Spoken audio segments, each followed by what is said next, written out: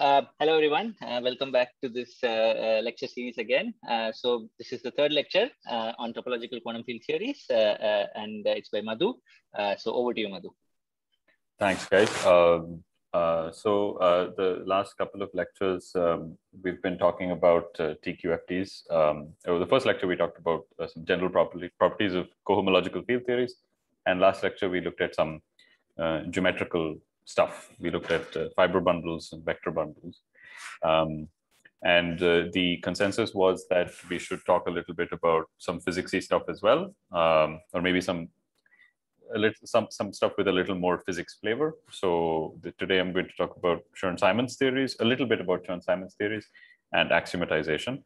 Uh, with both the Chern-Simons theories and axiomatization of TQFTs, these are very big subjects.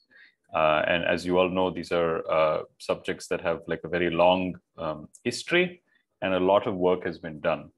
Uh, so uh, of course, I'm not going to be able to cover even, this is really just kind of a, a teaser trailer to the kind of work that has been done.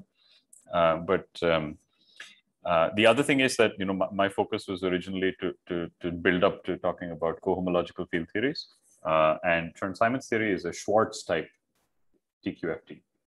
What that means, just let me remind you, uh, what that means is that it's a theory that you can construct that explicitly does not have any dependence on the metric. You don't need the metric to construct the Lagrangian and the path integral. And so it is, uh, it is um, a priori uh, a sort of uh, TQFT in some sense. Um, so my focus will not really be on talking about Chern-Simons theories, I think that, you know, like we, we have here Argo and Neetu who have uh, looked at aspects of Chern-Simons theories on three manifolds. I think they may be good people to, you know, talk about some of the aspects of these theories. Um, and uh, uh, what I would like to do is since Aditya mentioned that, you know, he's interested in talking a little bit about the relation between axiomatic TQFTs and uh, the theory of Frobenius algebras, what my, my, my plan was to, my plan today is to build up to a point where Aditya can take over and talk about that, right? And then I can come back in and talk about uh, supersymmetry and stuff. So anyway, uh, I, I, guess we'll just see how it goes. So let's begin. Um, uh, the first topic for today will be Chern-Simons theories. So just to get some intuition, uh, let's just start with Maxwell's electrodynamics. Right? We're all familiar with this very, very nice theory of uh, electromagnetism, and it's given by a Lagrangian, um, a Lagrangian density that's um, uh, f mu nu f mu nu, right? Uh, and we all know how to work out the equations of motion, uh, the Bianchi identities, uh, and so on. Um, there is, however, another possibility that you can write down. So you can have, you can, you can of course, you know, have terms like uh, you can of course have terms like uh, f to the 4 and so on. Those are like nonlinear modifications of electromagnetism. Uh, but there is another possibility which, which is just quadratic in f and, and that's what's called the theta term. Okay, so the way we construct the uh, theta term, and this is just to sort of get us uh, thinking about Chern-Simons theories, the way we construct the theta term is to first start by constructing the Hodge dual of the uh, field strength Right? The Hodge is defined in, in this way. And uh, we can consider the addition of, uh, in addition to the Maxwell term, we can also imagine uh, adding a term s theta, which is um, just uh, this guy over here. Okay. Now, uh, in terms of the electric and magnetic fields, this guy is going to look like uh, E square minus B square, where E and B, roughly E square minus B square, where E and B are the electric and magnetic fields. And this guy over here is roughly going to look like E dot B. Okay. And it is a it is a standard exercise in uh, introductory electrodynamics to show that uh, the E dot B term, when you add it to the uh, Lagrangian, does not affect the equations of motion, right? And the reason for that is that uh, this density itself, uh, uh, or, or, or, the, the sort of the part of the, this part of the density is really a total derivative.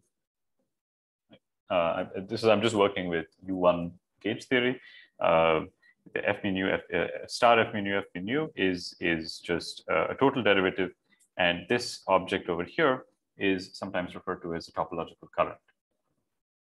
Okay, So the theta term uh, is topological in the sense that it does not affect the equations of motion. It's a bulk term, right? So when I do an integral over four space-time dimensions, then the total derivative here allows me to uh, throw this term to the boundary. So, so this term is topological in the sense that it doesn't affect uh, the equations of motion and that it only depends on boundary information of the gauge field. Right? The fact that the theta term is, is sensitive to the topology of the gauge field is something that you know we will kind of look at in a little more detail as we as we go along. Not today, but you know hopefully in this uh, series of lectures. Uh, the important thing to note is that you know we don't we didn't need the metric to write down the theta term. We don't need the metric to write down the theta term. Right? We just use the volume form, the epsilon tensor, uh, to write down um, the uh, theta term.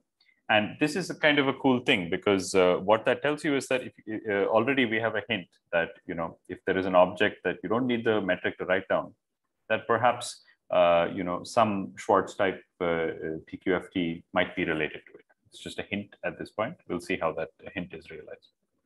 Okay. Um, uh, Madhu, one question, uh, yeah. just a simple. Uh, so to start with this S theta, you have written D4x, so it's in fourth dimension. Yeah. And after reducing it to the boundary on the 3D boundary, whatever mm -hmm. theory you have, that you call the chance node.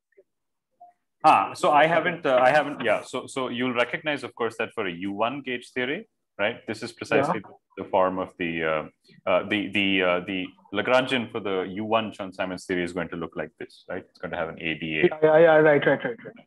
But I haven't, I haven't yet said anything about Chern-Simons theory, right? I'm going to, okay.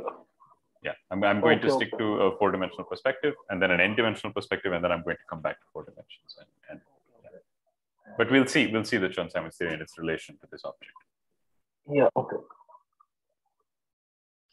Uh, uh, sorry, maybe it's just a bit pedantic, but uh, I mean, the way you've written, it looks like it depends on the metric, although it does not, I agree. Uh, hmm. But the way I mean, uh, it's it's not clear from the way you've written that it does not depend on the metric because I understand. Yeah, yeah, yeah. Sorry, sorry. So, so what I really should do is I should, uh, and I think I will write this later on, is that the way that we would write the Maxwell equation, uh, Maxwell action, is to write it in terms of forms in this way.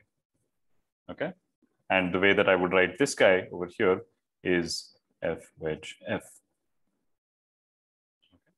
And f wedge f, of course, gives you a top form on a four manifold and so you can integrate it. So sorry, this is this is the this is the notation that is used. Um, it, I mean, this is I mean, I'm just I'm just writing it at a very loose level at this point. So um, I understand the confusion, but uh, yeah, this this term uh, explicitly depends on the metric, whereas this does not. Good.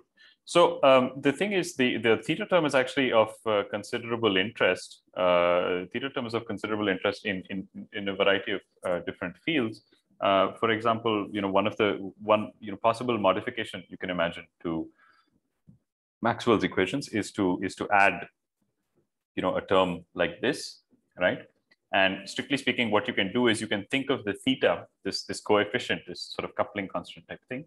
You can think of that as being um, the expectation value of a field. Okay.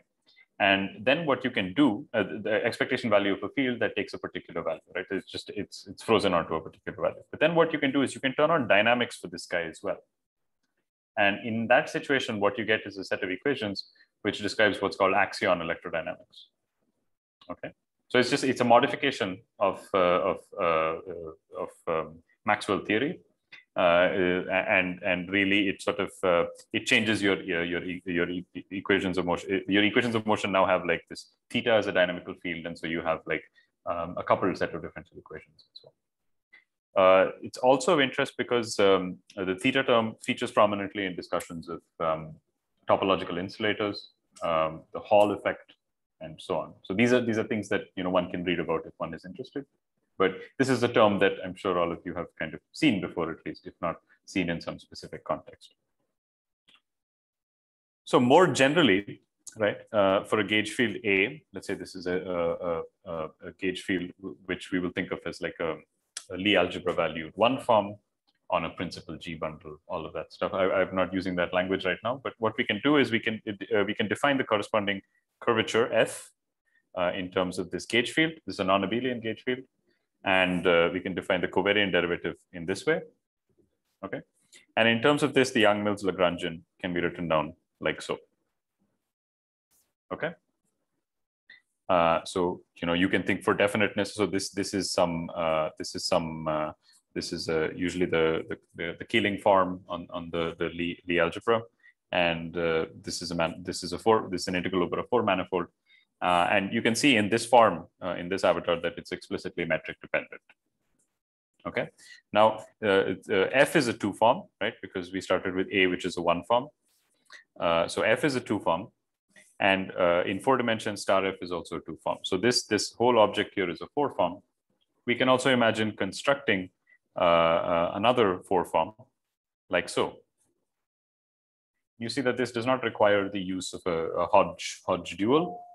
And the fact that it does not have, it does not require a, a Hodge dual tells us that it's not, uh, it does not require a metric to construct, right? And um, more generally on a, on a 2n manifold, I can extend this definition right? And uh, I can write down the action uh, like so. On a 2n manifold, uh, I can have just n factors of f, right? And uh, these, these integrands are called uh, Chern forms. Um, uh, so so the, the integrands are called Chern forms. And these are some things that you know we will see in, in the math, the sort of more mathematics related lectures. We'll see them arise naturally as uh, invariants that, uh, or sorry, the integral of these objects, appropriate integrals of these objects are like, um, uh, you know, invariants of, of, of, of, manifolds. So, so we, we, we'll see how that, we'll see how that plays out in future lectures, probably. Excuse me. Yeah. Is there something uh, special about starting with a one form field to do this? let's say if I start with a two form field, I ha have a three three form field strength. Right. And if the space is of dimension of, of the type 3n, mm -hmm. uh, can I still do that? And will that give me something interesting? Or let's say I start with like a scalar field, a Lie mm algebra valued scalar field, right. have a one form field strength, right. you know, like d phi. Right. And then any uh, space of a, any dimension I have, I, I, can you know wedge d phi right, n right. times right. and get a top form. Yeah. Uh, is that something worth studying? Does that give something? I would think that in the case of the scalar, like uh, uh, uh so basically uh, in the case of the scalar, you know, you you if you wanted to let's say construct an object like this, this M would be like a two manifold, right? Mm -hmm. But two dimensional uh, electrodynamics uh, I think you, you, you basically just have like a, a, scalar, right? That corresponds to the, you can think of it as like a magnetic field piercing the. I'm, yeah, sure. But, but I'm, no, I'm, I'm saying that it's some the algebra right. valued scalar field. It's not U, it, it's, it, it's not just U1. Right, right. Okay. So it's, it's D, D, D, D phi wedge, d phi where phi is a Lie algebra valued scalar field. Mm-hmm. Um, yeah, I, I, I haven't actually thought about it. Uh, uh, the, the, the case where uh, so I can still have like d, d phi wedge star d phi which is like the standard d d demyfied huh. Right demyfied term, and then I, I can have n wedges of d phi. Is that something? Um, I would have to look more carefully. Um, okay. but, but, it will be a topological term, right? Still, you're not introducing the dual in your wedge product. Yeah, that is right. Yeah, it will yeah, still be a topological term. what I'm asking. I, am I'm, I'm trying to. But does that does does that yield something? Why is it not studied as much? Because I we we have heard a lot about FHF or or the Chern Simons object, right. but why is it that one doesn't uh, do this for for uh, for uh, fields that are not one form, like not right. starting with a one form field? Right, right. And and we know that you know we have in in in, in string theories we have like higher form. Surely fields. scalar field seems like a better better thing to you know start with than right. a one form field. So there must probably be some explanation. That's what I was asking. Um, if there is, I don't know it, but uh, but uh, I think that's an interesting question. Uh, I'll I'll try and look it up uh, before okay. next time. Thank you. Uh, sorry, my internet got disconnected. Can, can you just repeat the question? Uh, uh, um, so, uh, so uh, Aditya's question was basically, you know, what is it? Why is it so special that you know we start off with a one form field and then uh, construct, a, you know, a, a Chern forms in, in, this way? What if we started off with a Lie algebra valued scalar, or if we started off with a two form uh, and uh, you know constructed a top form in an appropriate fashion then you know is that something that's interesting if so why if not why not i guess um, so I, I haven't seen question, yeah. so i haven't seen uh, anything like that but uh, uh, maybe maybe maybe if someone else in the audience knows then they can chip in or i can look it up before we meet next time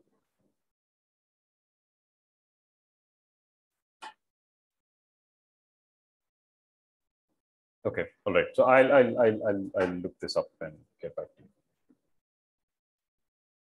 Okay. All right. So um, so these these integrands uh, are called Chern forms, uh, and and I'm going to use the short shorthand uh, trace f to the n to to refer to uh, an object like this. Okay. And now what I'm going to do is I'm going to perform some uh, manipulations uh, in order to sort of try and get towards the uh, Chern-Simons Lagrange, the Chern-Simons action. Um, I will use some identities here, which um, which require proving, or, or which require kind of the appropriate definitions in order to show. Uh, uh, I'm going to ask that you kind of just trust me on this. Uh, we will see how these manipulations are done, if, if at all, in, in future lectures. So let's consider what the variation of the action is. Okay, if I have like a on an n, uh, n manifold, I uh, let's say my action is just this guy, right? Then let's ask what the variation of the action is. Okay. Um, now, uh, what I do here is like I, I, push the variation into the trace, and uh, the factor of n here comes from the fact that this variation hits all of these guys. Okay. Uh, and uh, once it hits all of these guys, what I'm doing is I'm rearranging the all the terms that appear here uh, so that the delta f sits out in front. Okay, and uh, the fact that f is a two form means that I don't pick up any signs from from this this process, and that's what gives me the factor of n. Okay, this is just uh, you know Leibniz rule basically.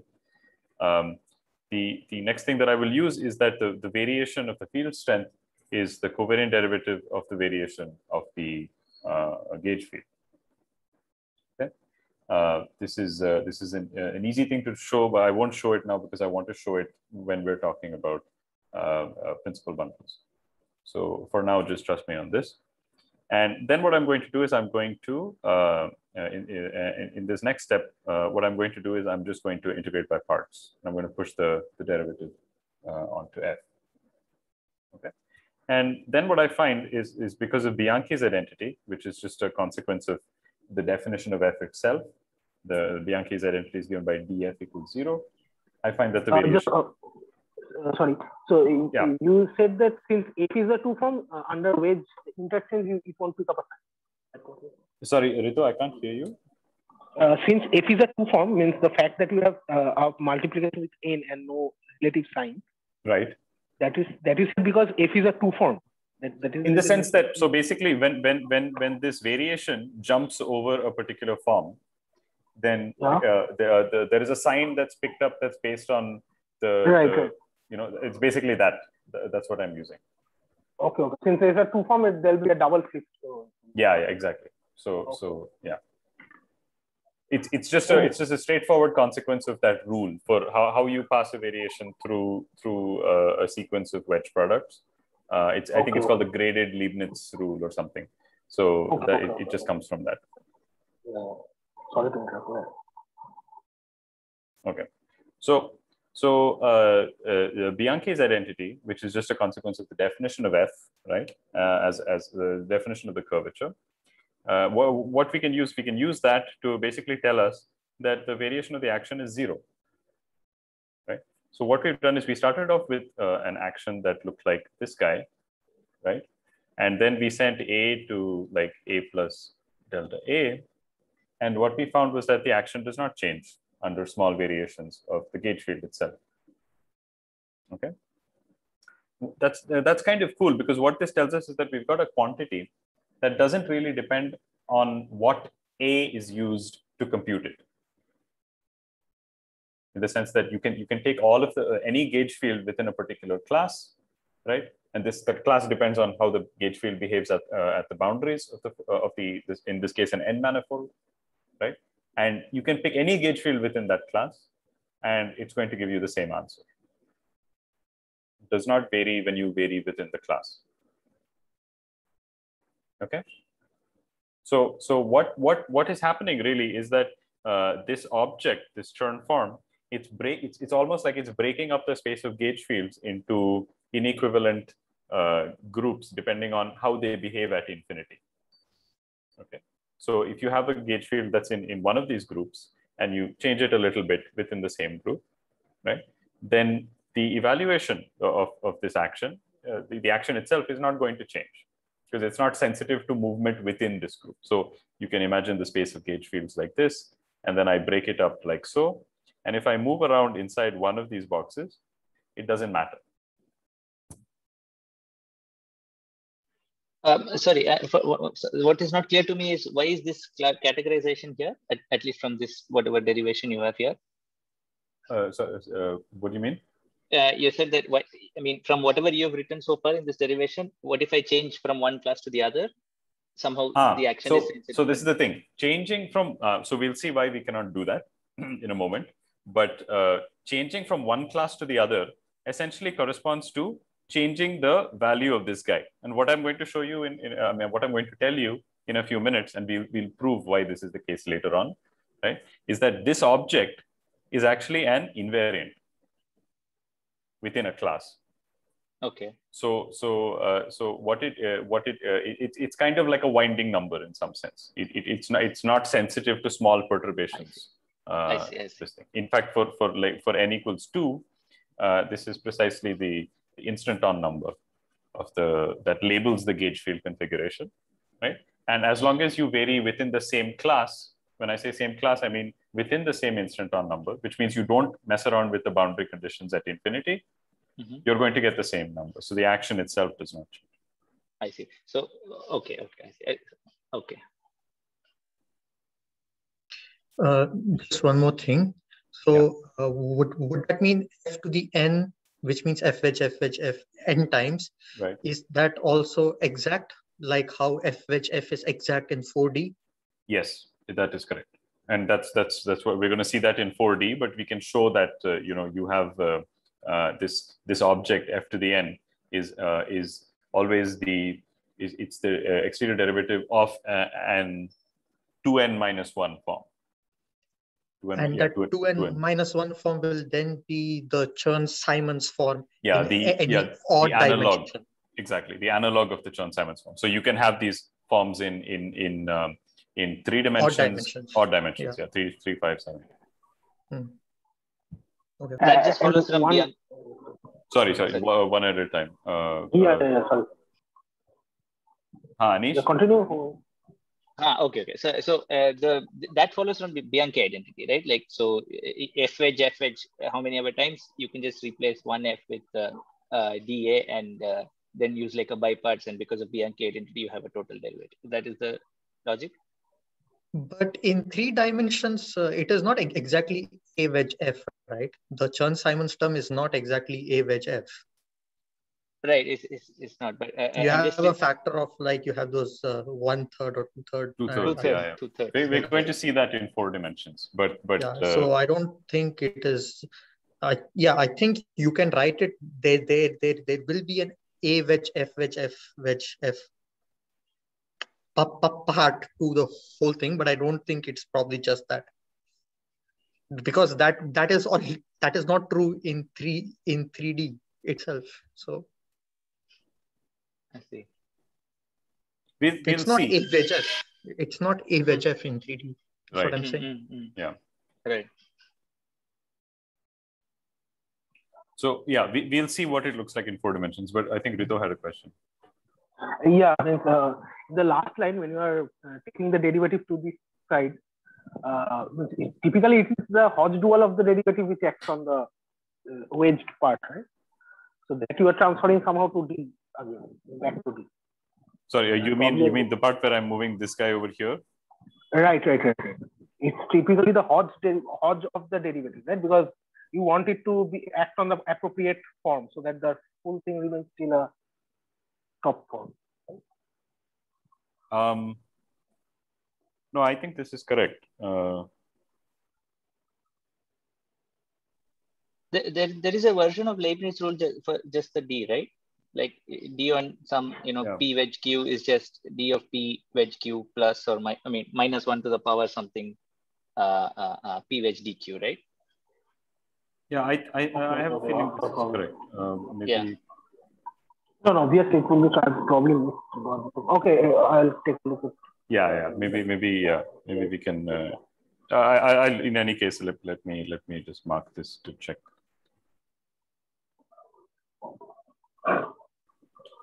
Okay. So uh, so so what what we found is kind of nice. We've seen that the sort of action is is sort of invariant when we when we change the gauge field slightly right?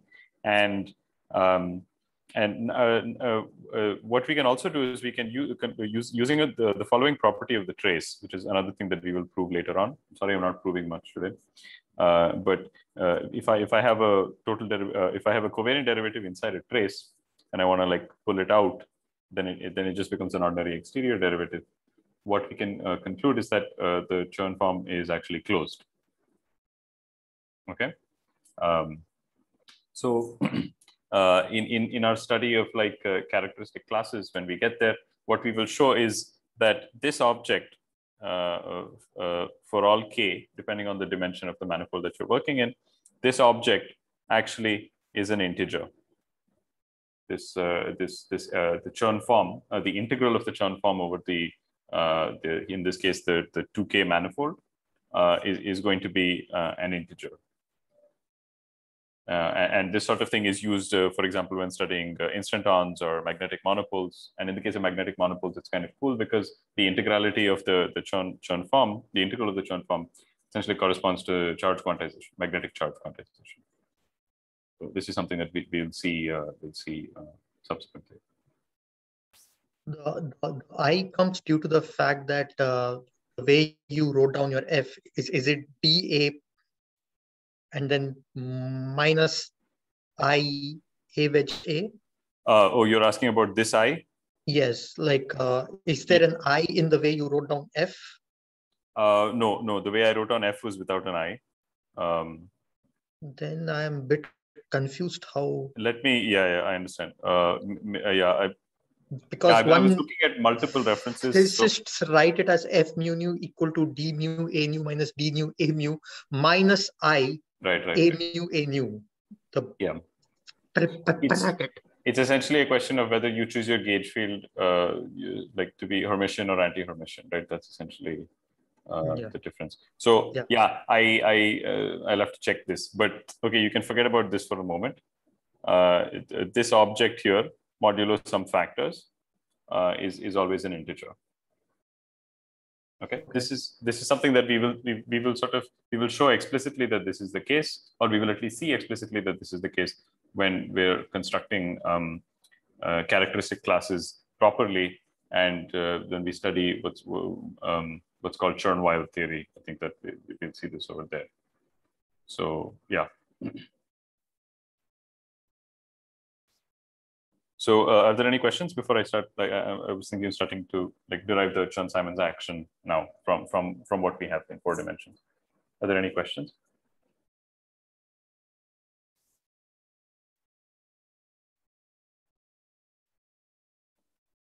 Okay. Good. So now uh, let's let's uh, derive the uh, Chern-Simons action. Uh, and what I'm going to do is I'm going to define AS to be uh, a small s times a, where uh, s is, is a sort of number between 0 and 1. Okay. Uh, these sort of tricks are very common in uh, the, like the, the, the, way this derivation proceeds. This, this sort of trick is going to become very common increasingly as we go on. Um, but uh, uh, s is going to be value from 0 to 1. So when s is equal to 0, we just have like the, the gauge field, just trivial gauge field, right? a equals 0. and when s is 1, we have like a non-trivial gauge field. And what we're going to do is we're going to try and use this representation of fs, right? Which is which is the the uh, curvature corresponding to this connection. Uh, we're going to use that to try and write down uh, trace f square, which is a top form in four dimensions uh, in uh, in terms of the Chern-Simons form. Okay, so this is a this is a reasonably simple derivation. What we do is we start off by just writing trace f square as you know in this integral representation you see that this is just a total derivative. So uh, it's uh, I can just do uh, fs. Uh, uh, this is just uh, this guy at one and zero, and then I then just one gives me trace f squared, right? Because when a when a is zero, f is also zero, so that's that doesn't give you anything, right? Now I push the push the derivative inside, right? And uh, the reason uh, the, the, for the factor of two is because this derivative is going to hit both these guys. Okay. And uh, once again, I use the fact that the variation of the uh, variation of the field strength is the covariant derivative of the variation of the gauge field itself. So that's that's where that's what's happening when I go from this guy to this guy over here. Okay. And uh, dAs by ds is just A, because AS, A sub S is just uh, S times A. So I have, I have this guy. Okay. And now what I'm going to do is I'm going to add to this uh, a term that is like formally zero, right? So I'm going to uh, add, huh? Yeah, uh, shouldn't uh, the d by ds act on the capital D as well? Because that also has the gauge field in it. Oh, no, no. So, so, so the, the, the general relation between the, the, so this is not, uh, the, the relation is not between f it's, it's not yeah it's not the relation is this delta f equals d delta a so the variations are already here right but so my under so so the d is actually like the uh, the, the so, usual d plus a, a wedge of whatever right right uh, so now this a wedge that has the subscript s in the no, capital no. d Ah, so so what I'm saying is that in this relation, delta f equals d delta ah, I see, a, I see, I see. You just treat delta as d by ds. I see, I see. Okay, okay. So uh, so that, that, that comes after after everything is said and done. This is exactly what you get. Okay. Yeah. So uh, so from from this step, uh, what I'm going to do is I'm going to add a term that's formally zero. The reason for that is just Bianchi's identity. I just have a df uh, equals zero, right? And now what I can do is I can write this as the exterior derivative acting on a wedge f, fs. Okay. And uh, so uh, now I pull the uh, this covariant derivative out. It becomes a, an ordinary derivative because of the, the naturality of the trace. And um, when I perform the integral now, what I get is that it is the trace of a wedge dA plus two thirds uh, a cube which is the, the form that I'm sure many of you have seen before, the form of the uh, Chern-Simons uh, Lagrangian density. Okay. This, this bit you can check explicitly. And in fact, like the fact that you have a S square over here is precisely why you get uh, this factor of two thirds. This is something that you can check explicitly.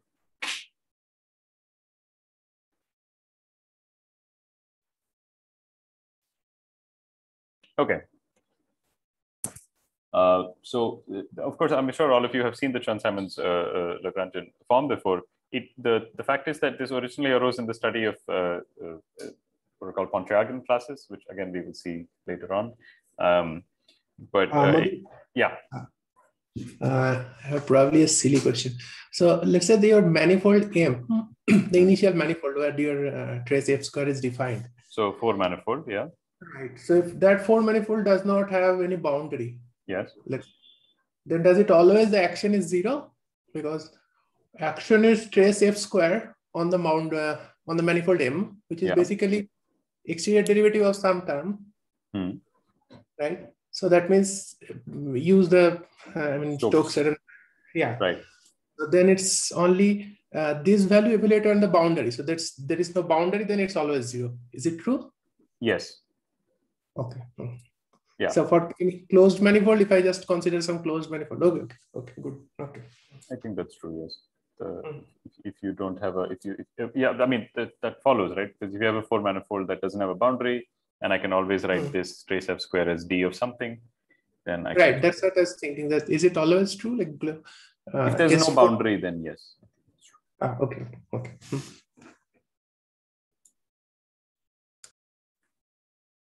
okay. So uh, the, the the thing about the Chern-Simons action is that uh, I just uh, yeah, yeah, about what I, I just asked. Uh, I'm not okay. I I that would mean that there would be no way of computing what the ancient on number is on let's say a four sphere or a four dimensional space that had no boundary right um, that that doesn't seem right exactly that's right or am i mixing something up here so, so the, so, so the thing is, instanton numbers are computed on R4. Okay. Or some four dimensional. I mean, I mean, you can okay. start with any four dimensional space, and uh, right. And the way you compute, I don't know, C2 on that is like FHF. Right, right. Um, so I'll tell you, I'll tell you how. I mean, I'm I'm not familiar with S4. Uh, in the case of R4, what happens is when you go to the boundary, that gives you an S3 at infinity and the instanton number essentially counts how S3 at infinity wraps around S3 of your, let's say, SU2 group manifold. I see. I see. I see. So if In it terms, is... But I, yeah, question? a good question. Sorry? Oh, what was the question exactly? The question is, uh, if I have a, a, a four man, uh, like let's say, let's let's just let's just consider the case of C2, right? Let's just consider the case of F wedge F, right? And now I have a manifold uh, that does not have a boundary. So dm is zero. Okay. okay. Uh, in a situation like this, uh, is the uh, is the um, the action contribution uh, or trace f square is that always identically zero? Oh. Yeah, I think what you said makes sense. I suppose that's it. But the, that will only depend on whether A vanishes at infinity, right? Means if A doesn't vanish at infinity. No, but but huh, but Rito, if if I if I uh, if I do this right, so so basically I have um, uh, over a four manifold, I have uh, some uh, some omega, right, and I can write yeah. this as integral over a four manifold of d of eta, and then yeah. I can write this as a boundary of the four manifold uh, eta. Oh, okay. But if d d4 is zero, sorry, not d4, like uh, if if the boundary is zero, then this is zero, right? Yeah, typically uh, find that, but wouldn't like. Uh,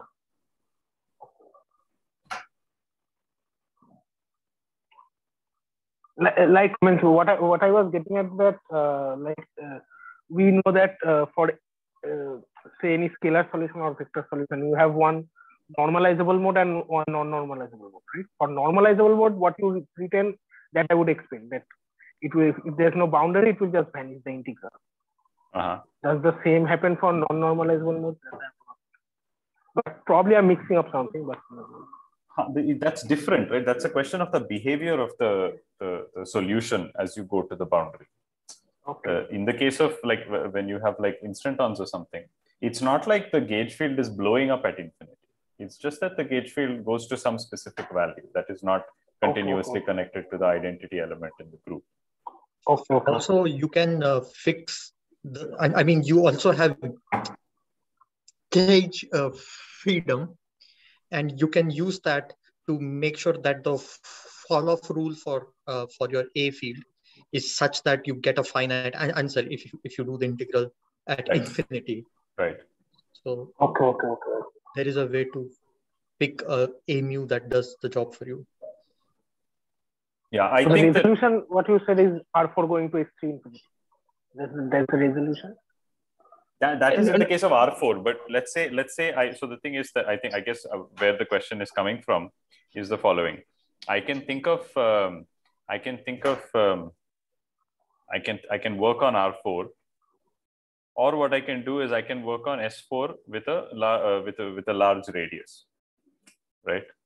Uh, S4 R goes to infinity, something like that.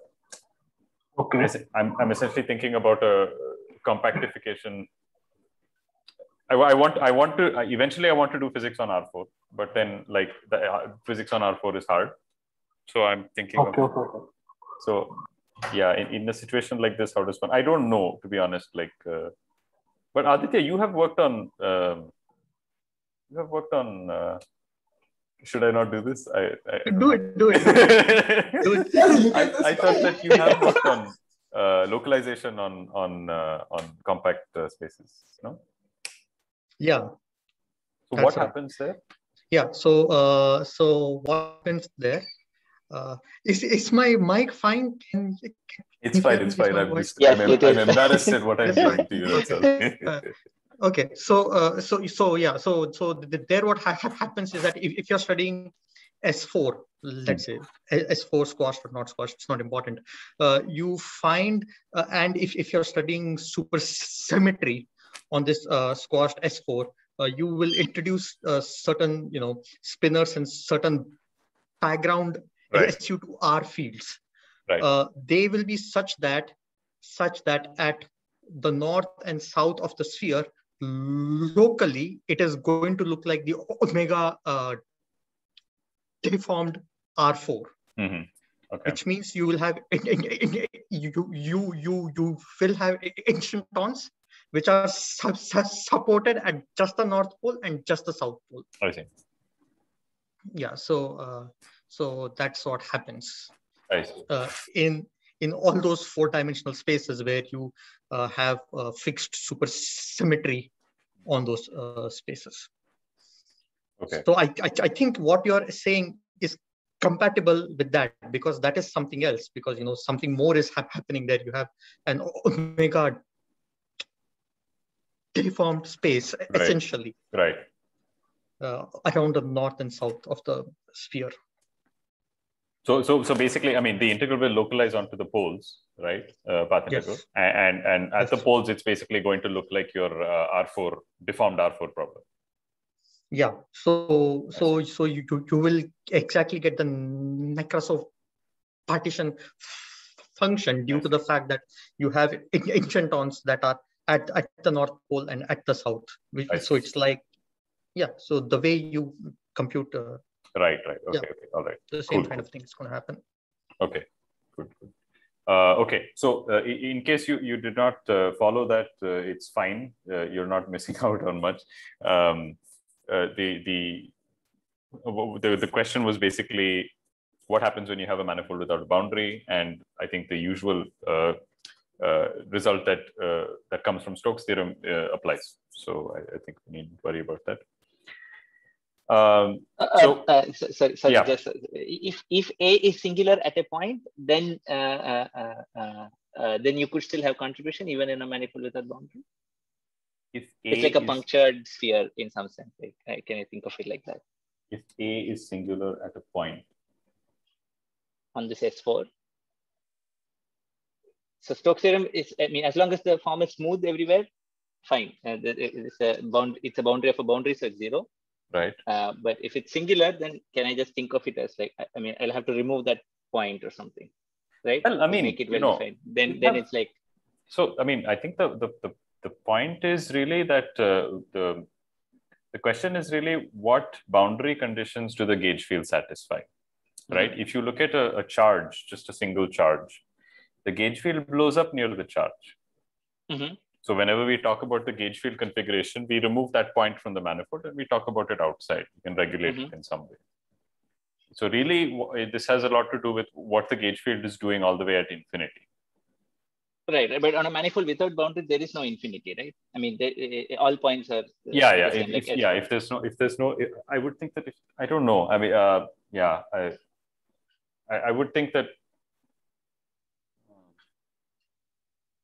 I mean, it's a pathological case, so we could move on, but Right. uh, if i remove a point then isn't the boundary uh, it- it's just R4. It, it just becomes R4, right? Uh, because R4 with one point is, is S4, I would have uh, imagined. um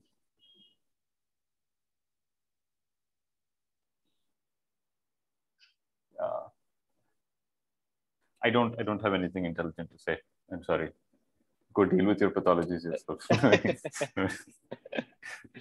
um, yeah Sorry. Uh, so yeah, I, I, I, will think about it, but I don't have anything intelligent to say. So uh, the so the, the, the, the thing about the Chern-Simons action is that it arises naturally as a boundary term when studying the Chern form. Okay, so so let's say, uh, for example, I'm looking at a, uh, a four manifold M, which is like a unit interval times some uh, you know nice oriented three manifold. Okay, then what I can do is I can show that. Uh, so so the thing is that since I, since I have a product kind of structure, I have sort of natural boundaries at zero and one, right? And you can see that the the uh, the Chern form itself reduces to the, the difference of the Chern-Simons actions uh, uh, at uh, zero and one, essentially. Uh, Sorry, what's the x and t? Yeah, here? yeah. So I'm, I'm telling you what's happening here. So, so this is a this is an integral over the entire four manifold. Okay, and what I've done is I have broken up the uh, derivatives into the time and the spatial kind of uh, derivatives. Okay, so and and at just refers to uh, uh, the gauge field at a particular time slice. So you can think of think of 0 comma 1 as like a, a, time interval and i have a three manifold associated to each point okay? And at is the gauge field configuration on this three manifold. And dx is the exterior derivative on the three manifold okay? Not in time it's just on the three manifold. So uh, if i if i think of if i think of my problem like this then we see that the Chern form itself just reduces to uh, two boundary contributions coming from the zero and the one. So these, these, these objects sort of arise naturally uh, as boundary terms when studying the Chern form.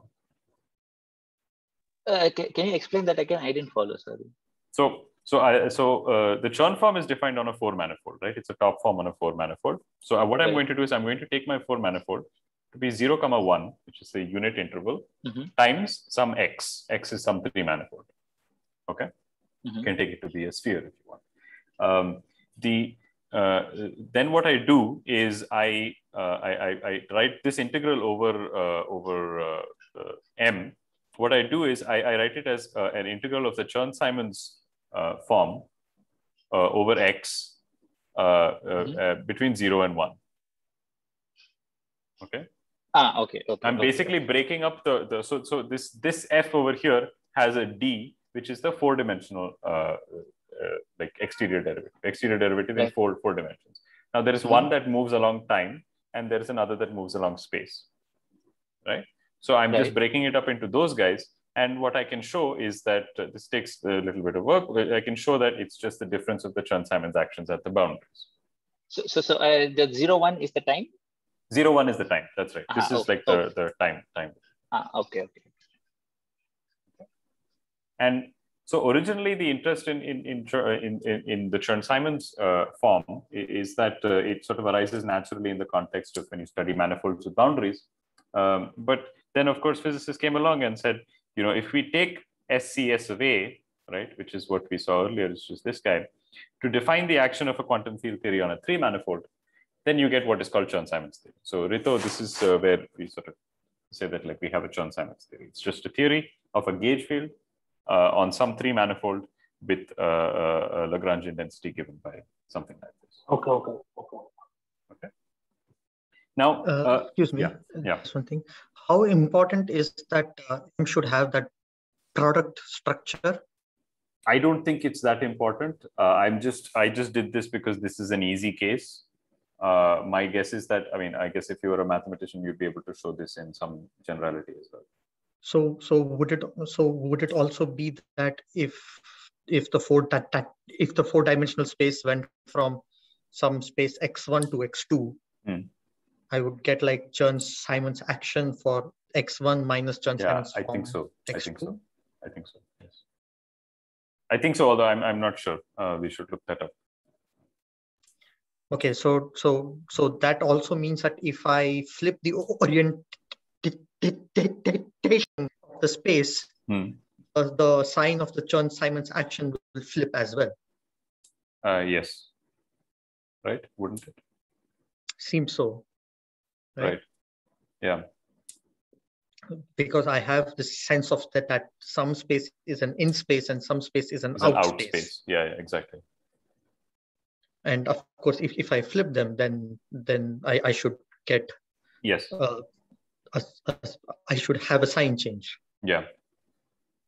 Uh, okay. okay. Uh, this, this this when you said you have a Chern-Simons at x1 and you have a Chern-Simons at x2, uh, since we're only looking at uh, like the manifold properties, the topological properties, aren't they like the same space unless you have a some uh, topology changing process or something which uh, is, is that common? Um, but you have the field A also. So it's it's a, it's still a function of the field A. It is just that it is independent of the G mu nu that you might have. That's all that right. means. But you, you, I mean, it's still a function of what the gauge field itself right, right, on the space is at right. the two ends.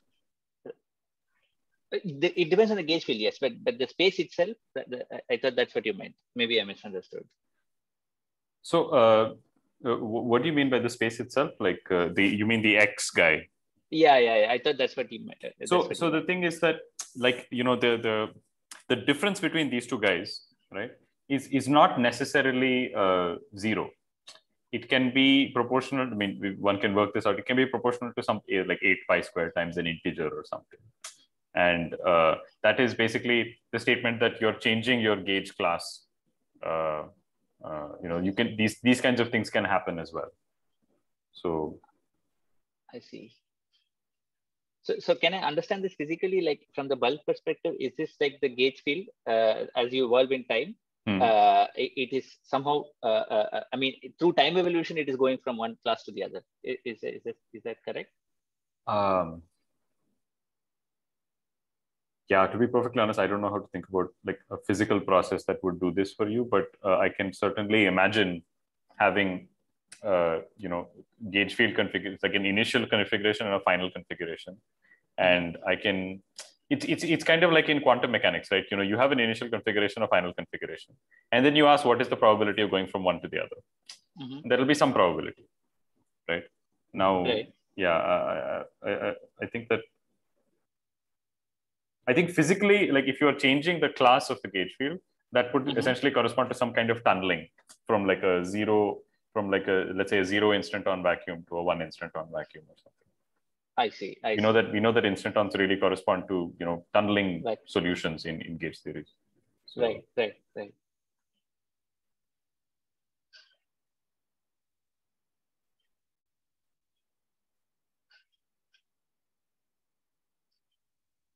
Yeah, we, we will we'll, we'll see these sort of things like in, in maybe more mathematical detail um, uh, so as to provide sufficient amount of intuition at some point. Uh, and, and of course, when we talk about like this, we'll talk about examples also of like, let's say instanton solutions and stuff like that. So we will get a sense of what's going on there as well.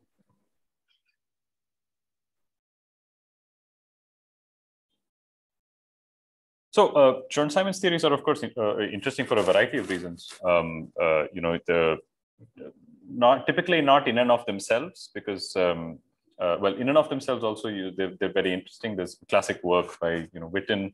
Uh, he won the Fields Medal for it. It's uh, it involves the relation between Chern-Simons theory and and sort of using Chern-Simons theory to give an intrinsically three-dimensional definition of knot invariants, a large class of knot invariants. But also, when you study Chern-Simons theories with matter, there are a lot of interesting dualities that are conjectured between bosonic and fermionic theories and so on. So uh, these these theories are of considerable interest to to physicists. Uh, and like I said, you know, the the the, the sheer amount of content uh, that uh, is related to these theories is is uh, is, is, staggering. Um, so I, I, I don't think I will be talking much about Chern-Simons theories in any case. But uh, you know, if you're interested, I, I I know of some good places to start looking. So just you know, message me on the on um, the Slack. We're not using Slack now. What are we using? Discord. Discord. Huh. You message me on the Discord, and I, I, I'll send I'll send you some good references for it. Um, but what I want to do is I want to use this as a sort of launchpad to discuss uh, the axiomatization of uh, TQFTs. So if there are any questions about the Chern-Simon stuff, or if you guys want to have a short discussion about Chern-Simons related stuff, um, this would be a good point.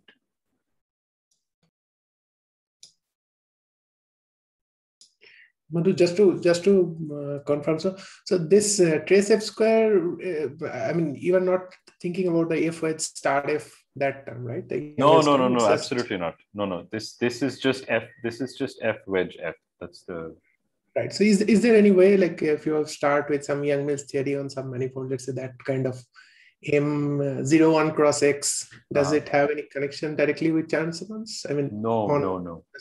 Oh, okay. No, it doesn't. Because so the thing is that uh, uh, Yang-Mills theory, when you write down the Lagrangian, that it explicitly involves the metric, and we know that this is a dynamical theory in the sense that right. we know that this has local excitations. You know, when we quantize the theory, we know that you know it has photons or gluons or hmm. something. So hmm. uh, we, know that um, this theory is not like um, it's not like all the dynamics sit in the boundary or something like that, essentially.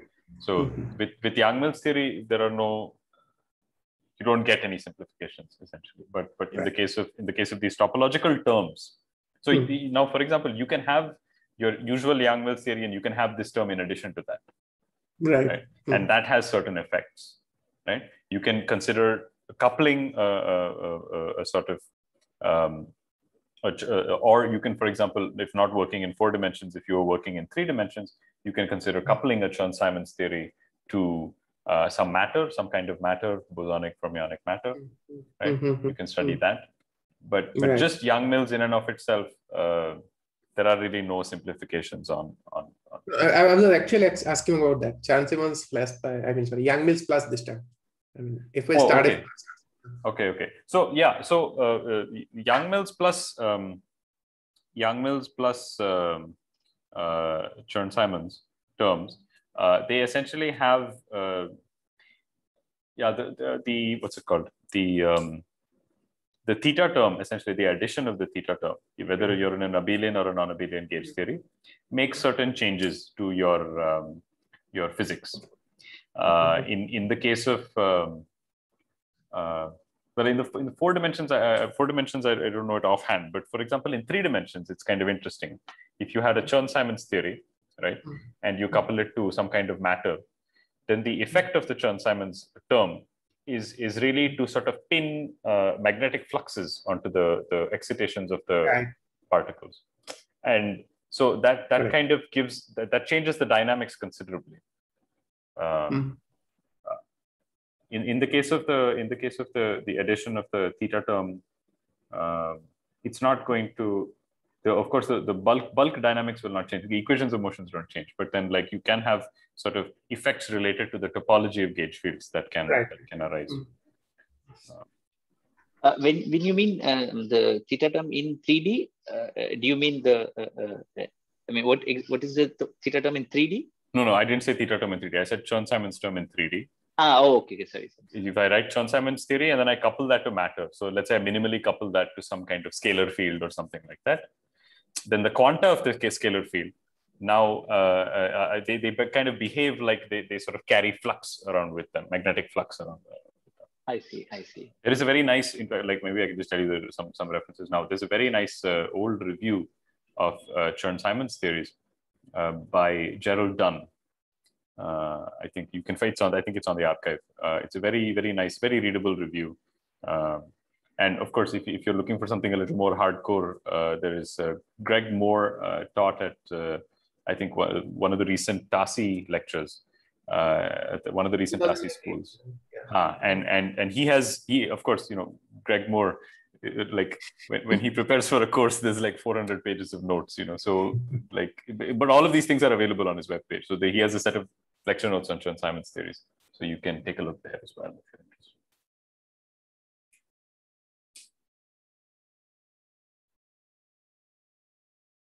Okay.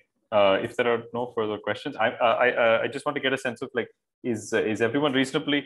I, I understand that this is a very short discussion of Chern-Simons theory, uh, but uh, but you know, yeah, maybe we can do better as time goes by. Okay, so let's let's let's consider a three manifold M. Okay, here from now on, I'm I'm just going to be working with I'm mostly going to be working with three manifolds uh, let's consider a three manifold M, which is like sigma cross uh, a unit interval. Okay. And uh, like intuitively, so and sigma over here is like a two manifold. So it's like a Riemann surface. right? So intuitively, uh, for every uh, t in uh, 0 comma 1 in the unit interval, the, the, the space on which the physics is happening, we can think of this as like the time coordinate. The physical space on which the physics is happening is just some, uh, some Riemann surface. Okay. Uh, the, the, and so, for example, this, this here is, is an example of, uh, well, it's an in illustration of this. The point is that we don't really have a unique way to slice uh, time uh, in, in, in such a surface. Okay. So let's say that I have like a manifold M uh, and, uh, you know, this, the, the boundaries of M are just this, this, this are just two circles here. And then the, the uh, there's another boundary uh, sigma sigma 1 which i'm going to call this guy and the two circles over here are uh, sigma 0 then the, the, fact is that i don't have like a natural way to slice time um, but one way i can do this is i can i can define these things called morse functions uh, and uh, morse functions essentially take the, the entire three manifold to a value uh, to a to, to the unit interval in such a way that the inverse image of 0 uh, is uh, the, the manifold that you start off with t equals zero. And the, the, the inverse, the pre-image of, of one is sigma one or the manifold that you end up with. Okay. Um, now, given, uh, given uh, the action, we have we defined the Chern-Simons action, we can define a partition function. Uh, okay, okay, quick, quick question. so sigma zero and sigma bar zero are different? Yes, uh, the the bar, the significance of the bar will become clear, but the bar essentially has to do with the orientation. So uh, uh, the by when I say bar, I really I, I mean to refer to the fact that uh, this is either an incoming or an outgoing uh, boundary.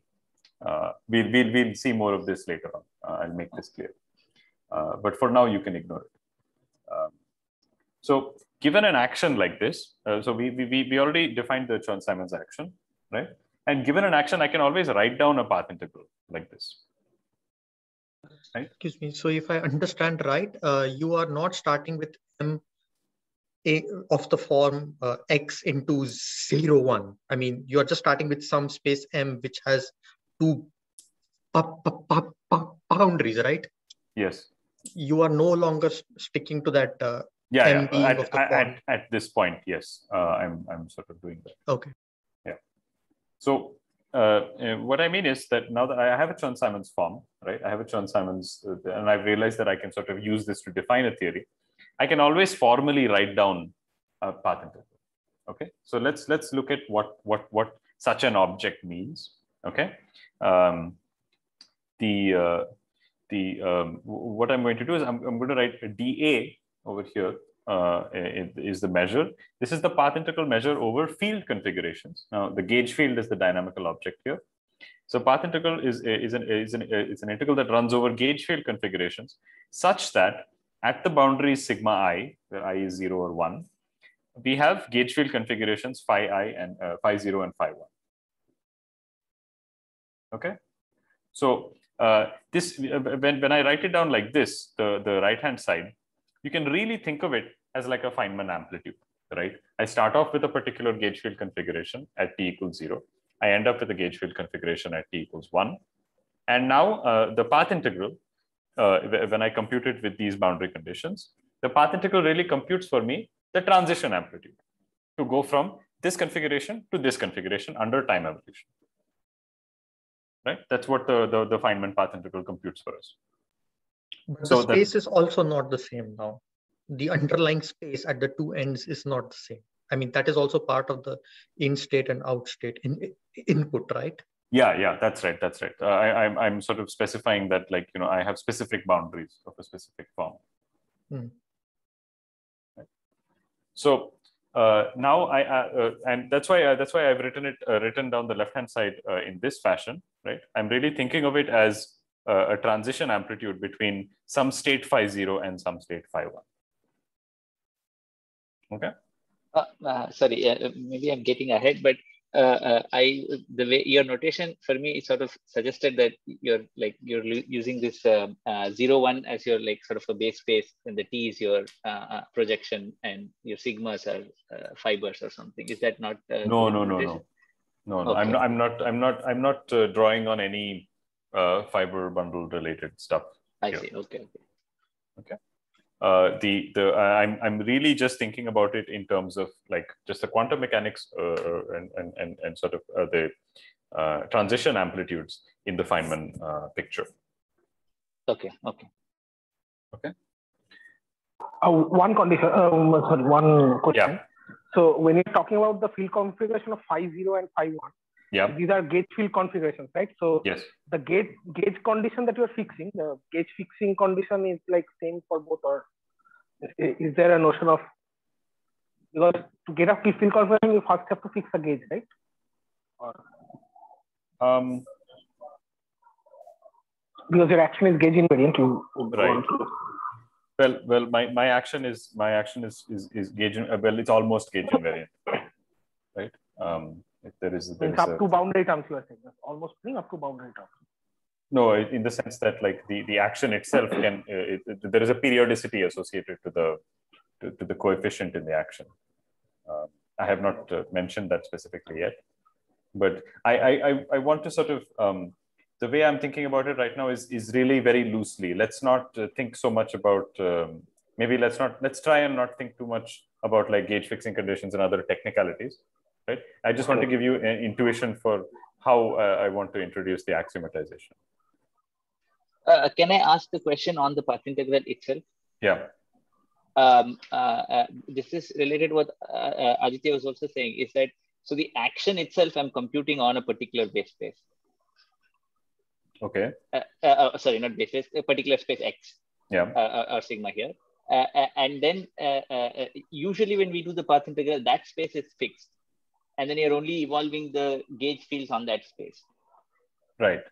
Uh, but here, uh, from what I just said, it's it, seems like phi zero and phi one. I mean, the, the, the spaces itself is changing. So, uh, how, how does how do I understand the path integral then? Um, it's uh, how do I understand the path integral? It's it's really just thinking about it as um, okay. So so if if you just sort of zoom out right for a second, what is the path integral doing? The path integral is a map from one one hill one one let's say Hilbert space to another Hilbert space mm-hmm. right? The Hilbert space at time t equals zero to the Hilbert space at time t equals one.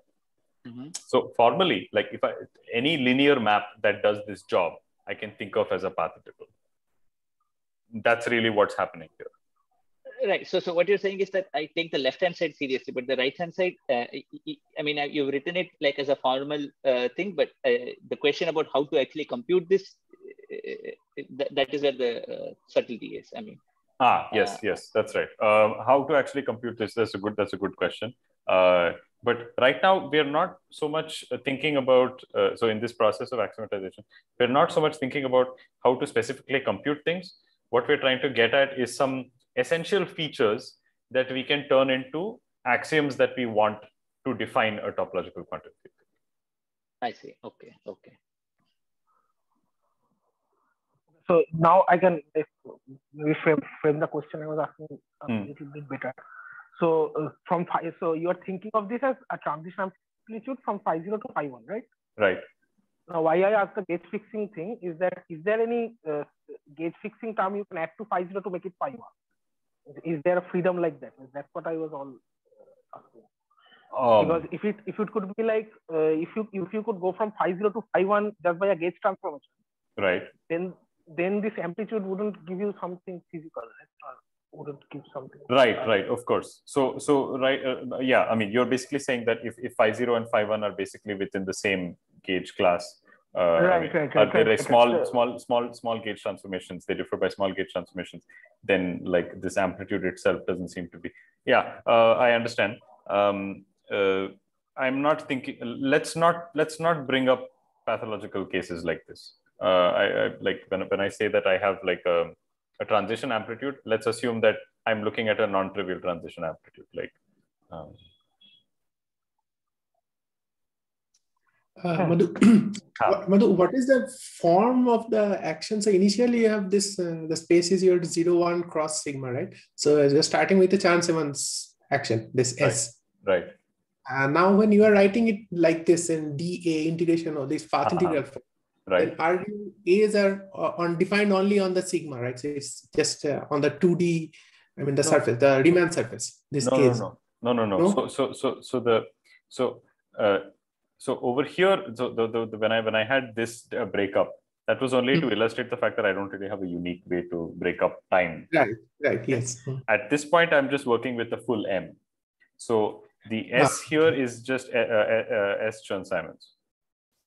Ah, okay, okay, okay. This is a path integral on the full three manifold with right. the, with these these sort of um, with these sort okay, of okay. at the boundaries of the three manifold. These are the gauge field values.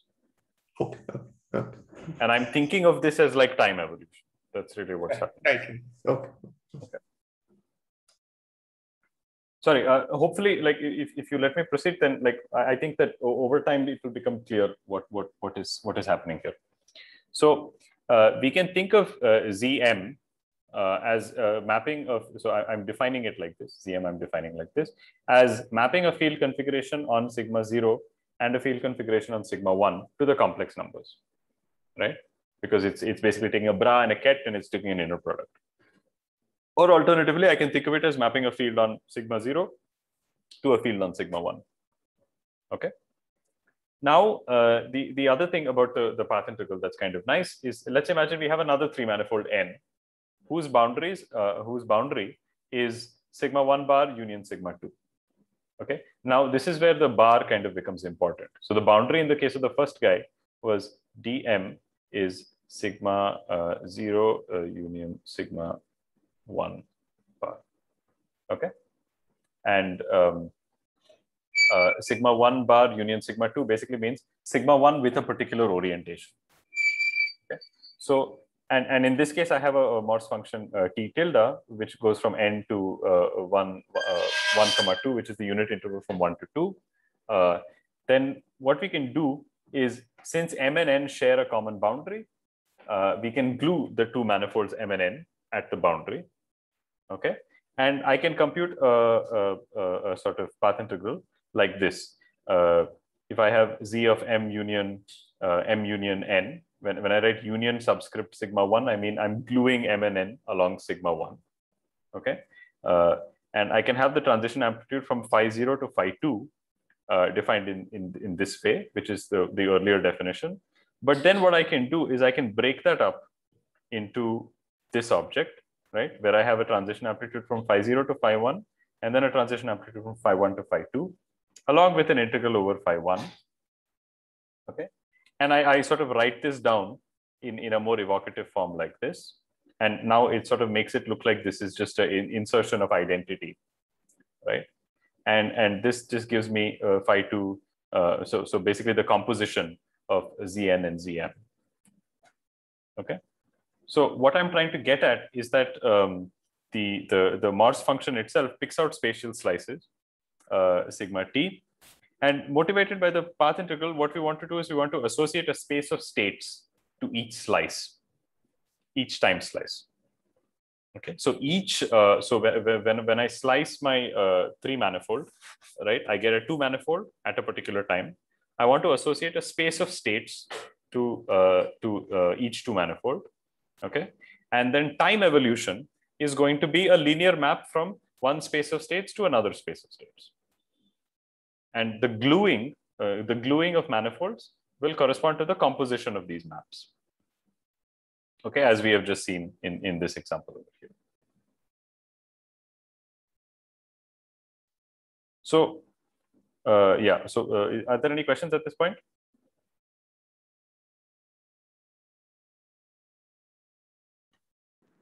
Is this function t some uniquely defined function? No.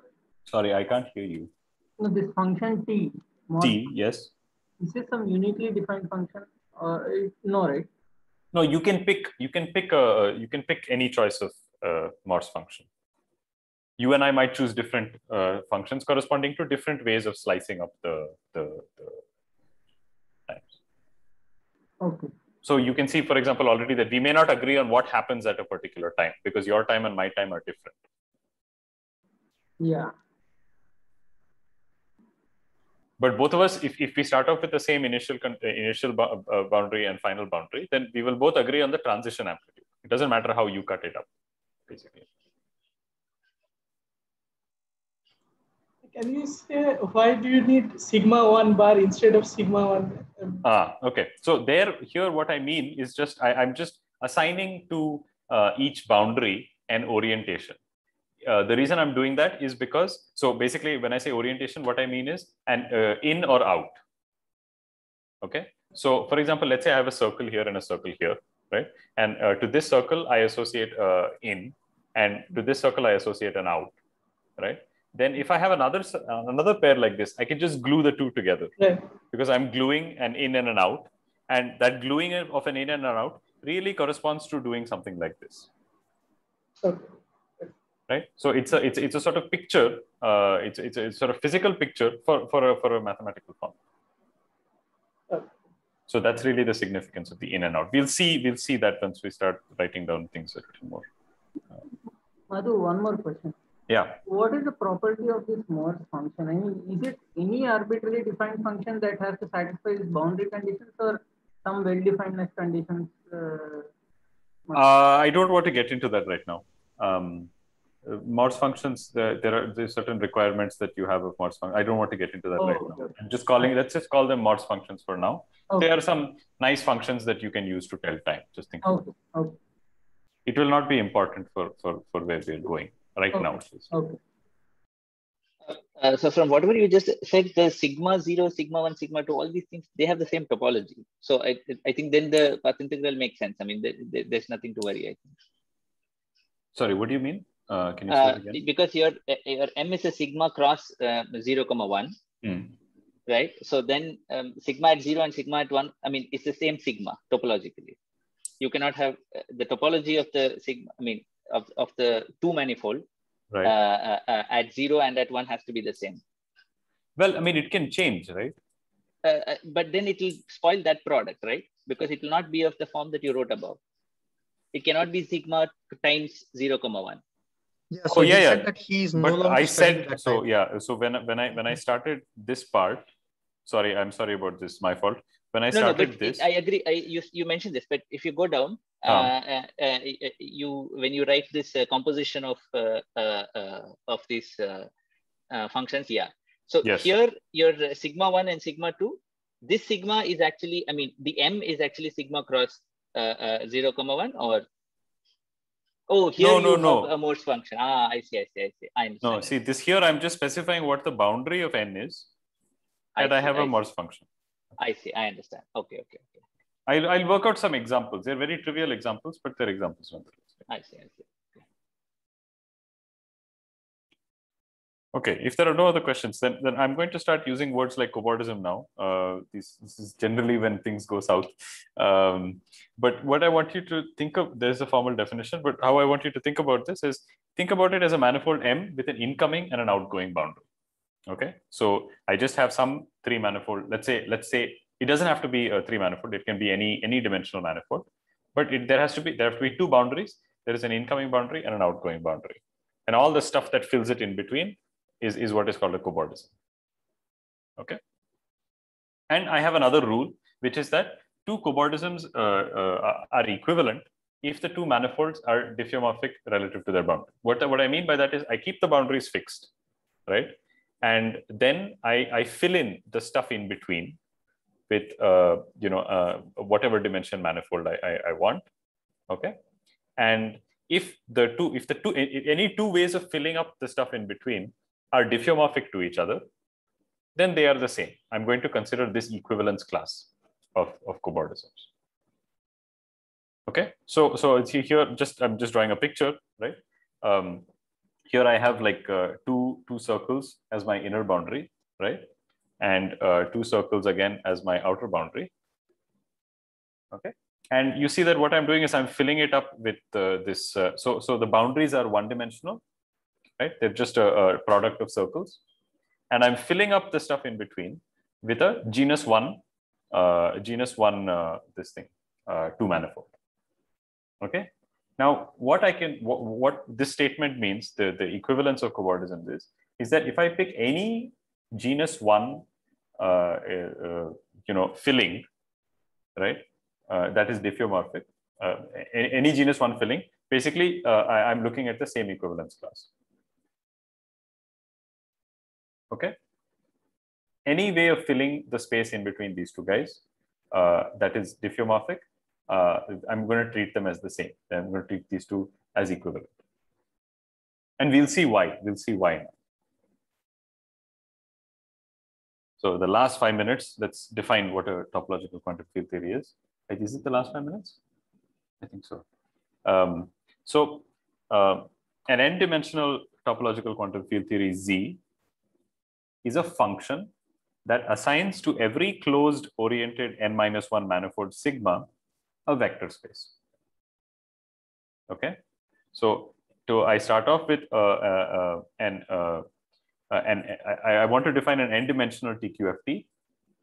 So uh, my n-dimensional, my your what I how, how I build that up is I start off with my n minus one dimensional that assigns to every n minus one dimensional manifold sigma a vector space that I will refer to as z of sigma, and to every oriented n manifold m such that uh, del m is uh, is is is the is the sort of uh, inner and outer boundaries a linear map which satisfies a set of properties. Okay?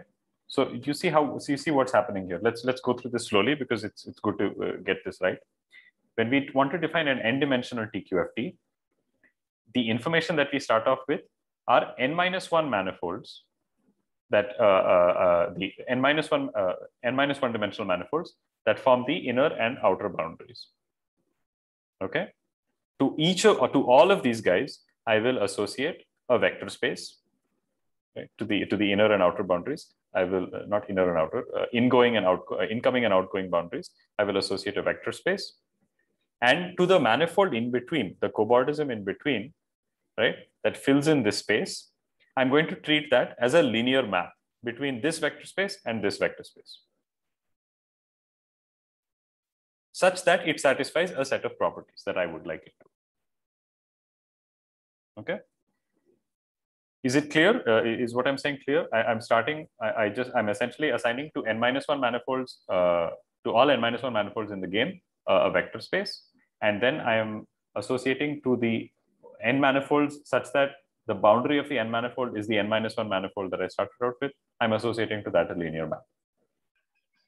Uh, uh, just a quick question. Uh, it's a bit confusing with the notation Z being used for both the vector space and the map. I'm sorry about that.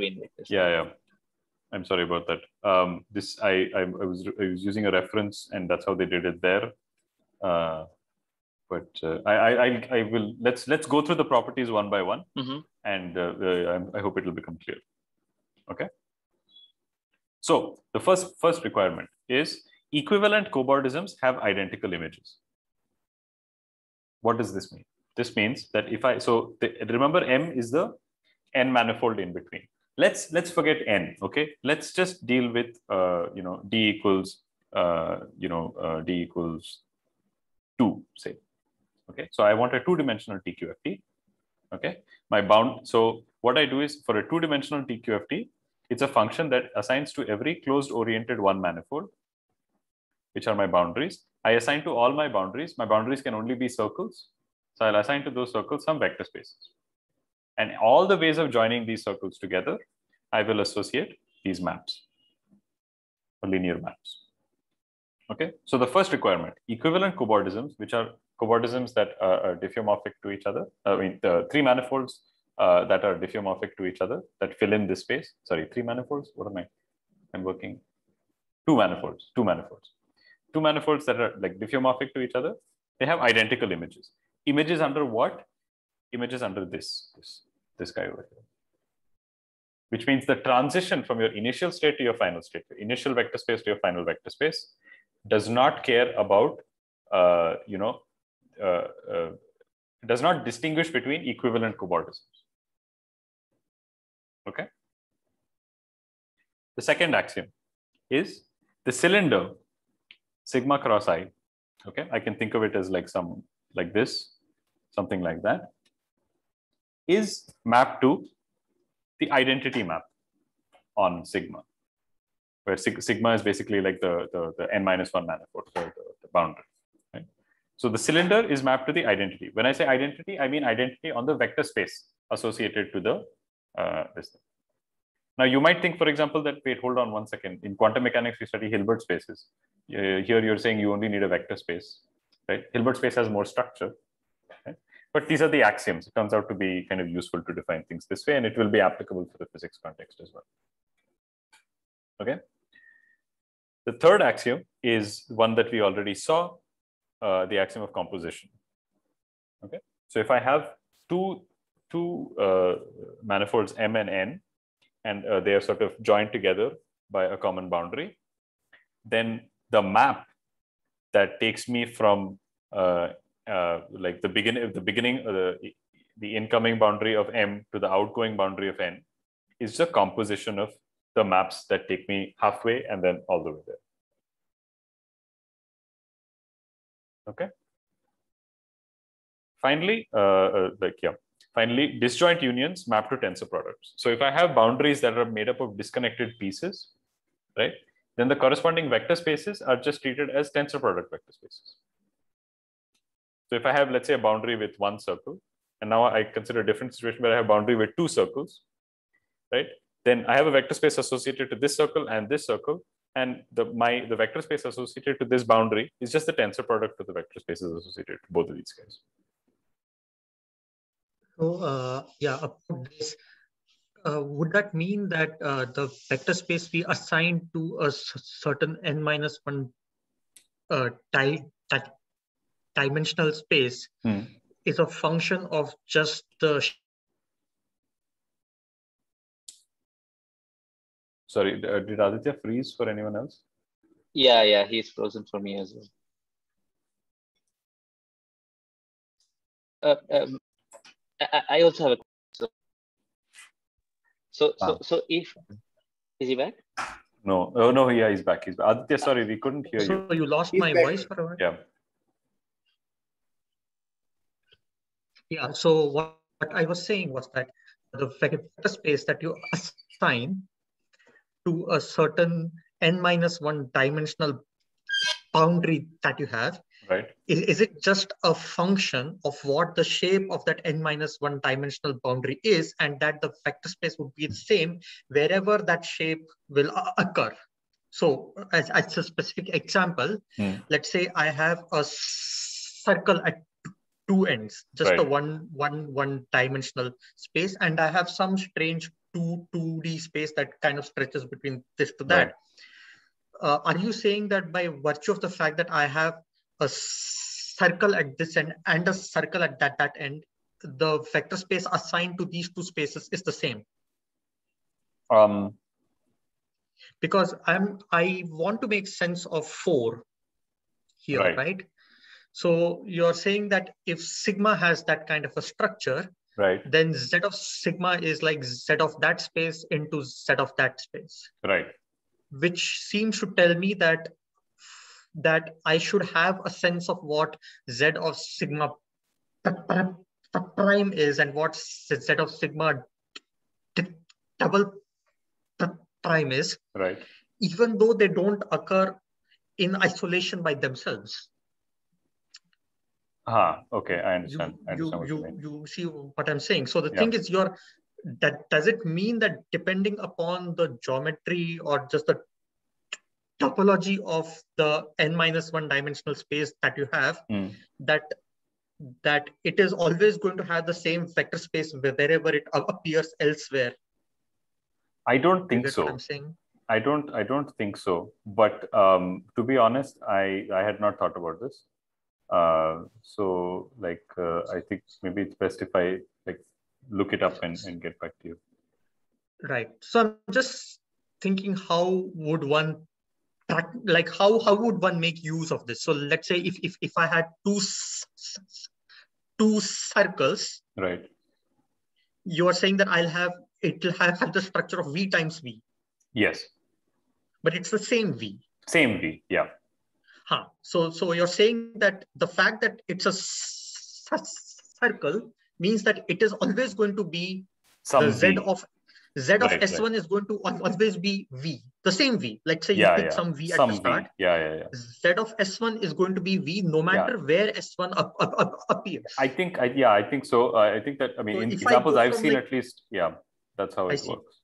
So if, if I go from, let's say, two circles to three, right. I'm going from V times V to V times V times V. That's right. Yes. I it's not as if I can assign this as V1 times V2, and then this will be like some V3 times V4 times V5. It's not going to be like that. It's going to be. Yeah, I think that you would have you would run everywhere into... I have S1. Right. I think that you wouldn't you run into problems because. Um, uh, well, that is why, uh, like, otherwise, I don't see how statement four makes sense because sigma prime right. and sigma prime prime don't appear on their own right. to start with. We should not expect that. Okay? Right, right. that, that kind of didn't he take when when he defined the linear map that was make, making the map from z to z right? It's the same vector just the base uh, sigma is probably defined so zm was sigma z of sigma 0 to z of sigma 1 right Right. So kind but of he's now the... saying that let's say if I'm just studying the in state and if the in state has is made of various parts. Hmm. Yeah. Okay, then the vector space that is assigned to this in state as like right. like, like the in boundary yeah. is going to have this product structure. Right. Right. Right. Which means that to each object, each sub part of that, he's assigning a vector space. Right. Which so now here is the thing. So are you assigning the vector space based on the shape, wherever that shape may occur elsewhere, or do you assign it? You so know? that can be resolved like say, suppose sigma zero the, from the linear map definition, which is Zm, which goes from Z sigma zero to Z sigma one. Suppose your sigma zero you take as sigma prime union sigma double prime and your sigma 1 you take as sigma prime union sigma double prime union sigma triple prime. So it's like the same vector space inside the argument i'm saying.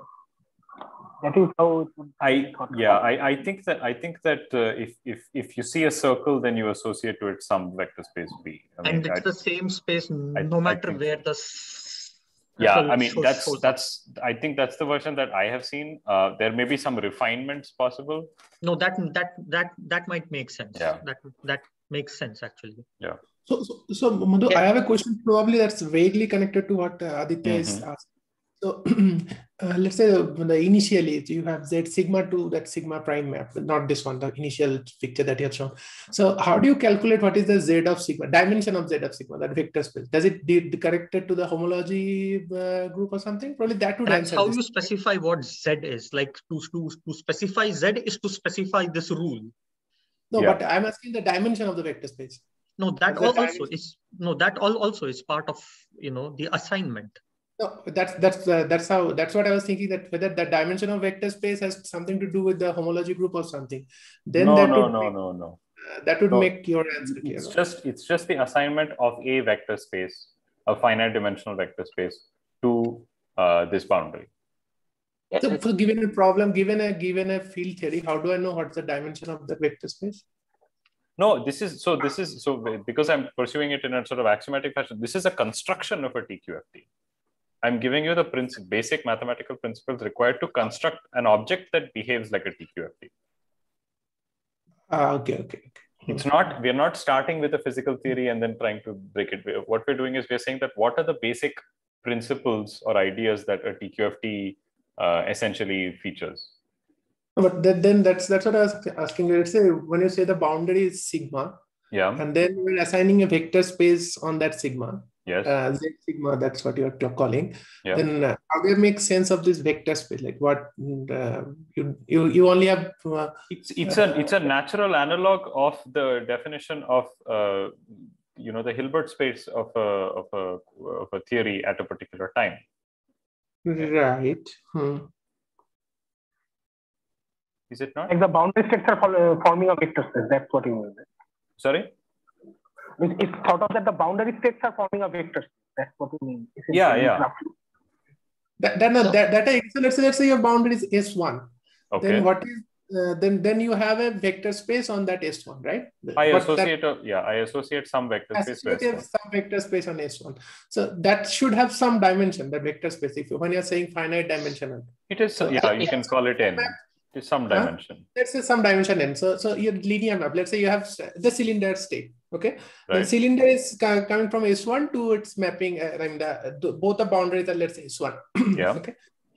so here one uh, you have said this uh, two. Uh, I mean the your axiom two. So mm-hmm. axiom two is basically saying that uh, in both the cases the dimension also have to be same. Is it true or is it not? That's what I'm asking. Let's say you have two boundary, uh, two vector spaces on the two boundaries, right, on the cylinder. Yeah. Yeah now it is the same space. It is the same space because this is the, the identity map on v right? Yeah so right so by by consider by this uh, your axiom 2 it have to be the same dimensional space as well. The vector space have to be a uh, same ah, dimension. Yeah i think what aditya is asking is if i have like uh... yes now you have let's say two different so s1 cross s1 kind of i mean two right, s1s right. in the beginning and then you have one s1 at the yeah. I mean the outside. Then right. Uh, what does it say? Your Z sigma, does it have to be like the total uh, dimension have to be same in both the sides? I mean, initially, if you uh, just say that you have S1 and S1, two S1s initially, yeah, and then uh, then you have another S1 right. at the boundary, right? Two sides, two to one. So, yeah. Right. So if you have the vector space here is let's say M, uh, dimension is M, and then this one is M1 and M2, let's say, who knows, M1 and M2. Then your Z sigma full dimension would be your uh, mm, uh, your uh, some some dimension, you know, because this is M. This M1 times M2.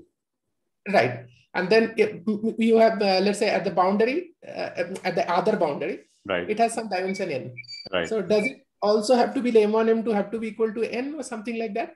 No, no. because no, no. no. But, yeah. Okay. Yeah. Sorry, no, go on. Uh, I was yeah, just so going in, to say that. the example that, in, in the specific example that you said, hmm. based on what we were speaking about, this fourth one, you are right. now studying a map from V times hmm. V to V. Right, yes. Hmm. So, so that whole shape is just a way of saying that I'm studying a map from V times V to V. No constraint or dimension or anything. No, v times because v I can I can have I can have a map from v times. It's v the same v, though. It's the same right. v though. V times v to v. I think oh, v times so, v to v. Yeah, yeah. Uh, yeah, so, yeah, it's, it's it's yeah, it's just v tensor v to v is what this guy looks right. like. Right. Okay, okay, okay. Mm, now I'm getting it. There's v times v to v. Okay. Mm. Okay, I, I will we look at some examples. So, so the, yes, the, yes. the, the, final the final uh, um, this thing is that an empty uh, n minus one manifold. Uh, I'll, I'll show you explicitly what this looks like. Is, is just map is just uh, associated to complex numbers. Okay. Now the reason that these actually axioms look kind of like uh, strange, but the reason this is um, what we think of as a TQFT is because it does not feel the difference between equivalent cobordisms. So I can have equivalent cobordisms, and the this this construction does not care about you know which representative you choose. Equivalent uh, cobordisms are not distinguished. Uh, I just uh, wanted to give a this thing. So how much more uh, time would you need? Uh, so I was just going to uh, do two examples okay. and just end with mentioning Frobenius algebras. So, like, so I think so, so, maybe roughly? maybe five minutes more if you guys don't ah, interrupt sure. me. Sure, okay. sure. okay. Sorry, sorry for running late again. Somehow I seem to have. Um, so, so let me just run through this stuff quickly, and then whoever wants to hang out can hang out. Right? So, this is the TQFT because it is not, uh, it does not feel the difference between equivalent cobordisms, right? That's essentially uh, when I say equivalent cobordisms. Remember that what I mean is I have um, an n manifold uh, which which uh, which shares the same n minus one uh, boundaries, right? And uh, that n manifold basically any two n manifolds that are diffeomorphic to each other count as an equivalent cobordism. So uh, what's interesting is that for a closed n manifold, okay, Zm is just a number. And, and, and so TQFTs give us invariants of n manifolds. Okay. So, so the, I just want to so point out that, you know, just with the cylinder, just this axiom two, um, I can look at this in kind of different ways. The first way is to think of it as, uh, uh, so I'm going to think of these guys as the boundaries, okay? These guys as the boundaries. The first way is just to think of the cobordism as going from uh, this guy over here to this guy over here, okay? And this is uh, where, like we saw from uh, axiom two, this is just the identity on the vector spaces associated to these boundaries. But I can take the same shape and I can draw it like this. So you see what's happening here is my initial vector space is these two guys, and my final vector space is just a point, like empty. So what that what that essentially means is that I'm I'm I'm I'm I'm looking at um, uh, a vector space and its dual being mapped to C. Okay, and uh, I, can turn this guy around, and what that's going to uh, what that's going to give me is that's going to give me a complex number being mapped to the tensor product of a vector space and its dual. Okay. So, so it's, it's really just, you know, playing around with these, with these pictures. So let's just look at a specific example. Okay. And uh, so this is just a question, the, the, the case of one-dimensional TQFTs. This is a very simple example. We can work it out in one page. Now, one-dimensional TQFTs, if we want to construct, we have to start with uh, n minus one dimensional uh, objects, which are just points in this case. Okay. But we want a sense of orientation. We want a sense of incoming or outgoing. So we, we, we, we say we have points with positive and negative orientations, plus and minus. Okay. Now a zero manifold sigma is just a collection of disjoint points, right? Which is the, the boundary. Boundary boundaries here are just collections of disjoint points uh, with uh, a positively oriented part and a negatively oriented part, which means a collection of plus points and a collection of minus points. And uh, these, uh, these uh, sigma plus and sigma minus are associated to z of sigma plus and z of sigma minus, which are dual vector spaces. Okay, one can prove that this is the case. Now, every now, now what we have to do is you have to fill in the space between these guys, right? So every non-empty one manifold is just a collection of lines and or circles. Okay. So if let's let's say V is just the Z of uh, PT plus, okay, then uh, if I have uh, two, two plus lines, uh, two pluses and a line joining them, that's just the identity on V. If I have two minus signs and a line joining them, that's just the identity on V dual. Okay. If I have a plus and a minus that just curl up like this, then that essentially corresponds to uh, V tensor V star uh, to C. Okay. And sorry, excuse me, this yeah. Plus and minus is some kind of extra embellishment you didn't have so far, right? I mean, yeah. So plus and minus are really just uh, the the way of thinking about the incoming and outgoing boundaries. Really, because you have like plus plus on on the two sides. So so which one would you say is the in state and which one is the out state? I mean, it really feels like this is this is something extra, right? Because like you have a line that is that that is from plus to plus. So, uh-huh. so is that really then an inner or, or an out thing? Yeah, because because because the the thing is that with a line like this, because it's just identity, I can collapse this line, right? Oh, but that no, that is that is fine. But uh, you still have have a sense of something being an in state and something being an out state. That statement you just said is also true for sigma times interval. Right. No, I, I mean sigma could be of any dimension, mm-hmm. uh, but you still have, have a sense that uh, sigma that at, at one end is an in state and at one end is the out state. Right. So is this um, like some extra embellishment, the sign uh, on top of everything else? Isn't um, there choice of Morse function here? Sorry? Isn't there some choice of Morse Morse function T that you defined earlier? Choice of Morse function. I mean, inherently, when you say the, there the is some of that length of the line, the length of, of the line is a good um, Morse, Morse function to have. The length of the line. As, as measured from the left hand side, how far you have gone in just measure the length where you are and that is a good enough morse function on this space